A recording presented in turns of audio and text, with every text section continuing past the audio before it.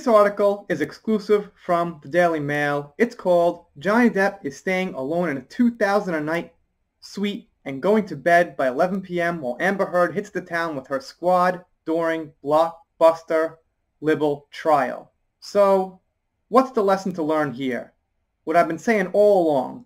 Amber's acting kind of childish, putting on some kind of front that everything's cool, she could go out and have fun, and Johnny's acting like, well, an adult. Let's just put it like that. Johnny Depp has been locked away in a plush hotel suite, dining alone while his ex-wife Amber Heard has been enjoying London nightlife with a powerful posse of women who are supporting her through the high-profile libel trial currently taking place.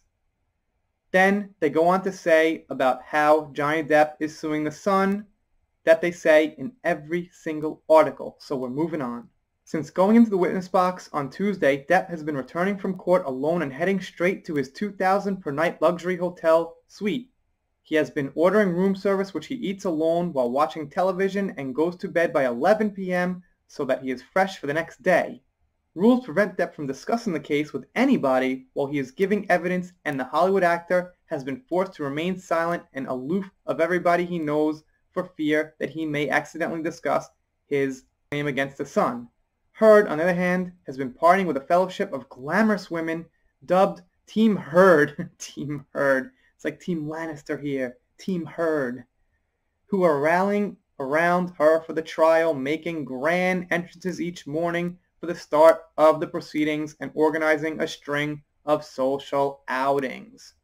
All right, so I guess Johnny has to be somewhat isolated, but my point remains. I'm not changing my stance. You know, Amber Heard could just act more adult-like.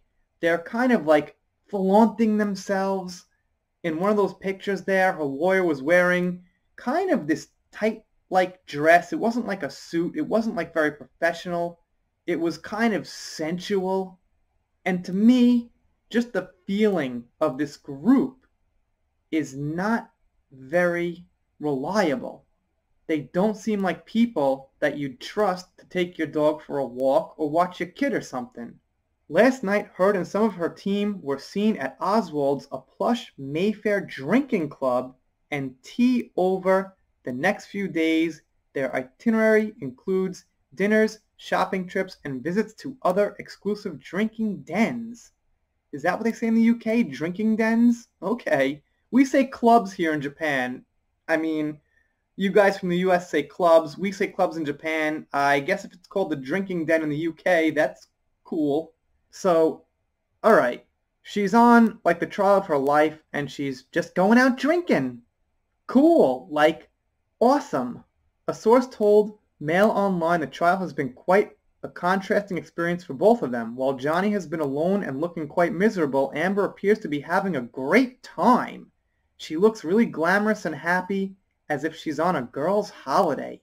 The women she's with have really got behind her. They're strong, positive women who are delighted with the way things have gone in court so far.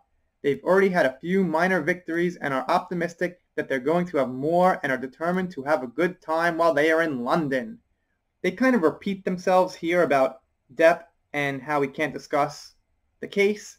Then they move on to say, Depp has not even called his beloved children for fear that the case might crop up in the conversation. He is expected to be in the witness box until tomorrow. And the source continues here, it's quite challenging giving evidence for so long and this is probably the closest he's come to clean living for a long time. Depp is even avoiding his American lawyer and confidant Adam Waldman in case they accidentally discuss the trial. The two men are staying in the same hotel but have not exchanged a single word since Depp took the stand. Team Heard is made up of her sister Whitney, girlfriend Bianca Booty, Buddy Booty, whatever, American attorney Elaine Brentoff, and Heard's assistant Sarah, whose last name is not known. Okay, that's cool. Some pronunciation I can't fuck up. Heard was photographed leaving Oswald's, where bottles of wine cost hundreds of pounds just after 1.40 a.m. with her sister Whitney and other friends. Depp's ex-wife waved as she left the venue, which is owned by millionaire Robin Birley, and I guess she's probably going to try to, I don't know, hang out with that guy too, while Whitney, who is to give evidence during the trial, was photographed wearing a blue jumpsuit. all of Team Heard, except for Miss Robinson, who lives in London, are staying in a plush hotel not far from where Depp is also temporarily based. The women have lined up a number of social outings over the next few days, including dinners, shopping trips, and visits to private members' clubs. Once Heard starts to give evidence, which is expected to be late next week, she will have to restrict her communication with her team and curtail socializing with them.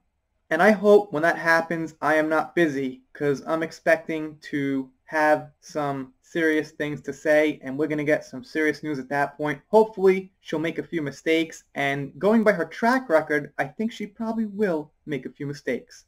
So we could look forward to and hope that Team Amber makes some silly mistakes. Anyway, you guys let me know what you think down below. Doing shoutouts, special thanks, things like that.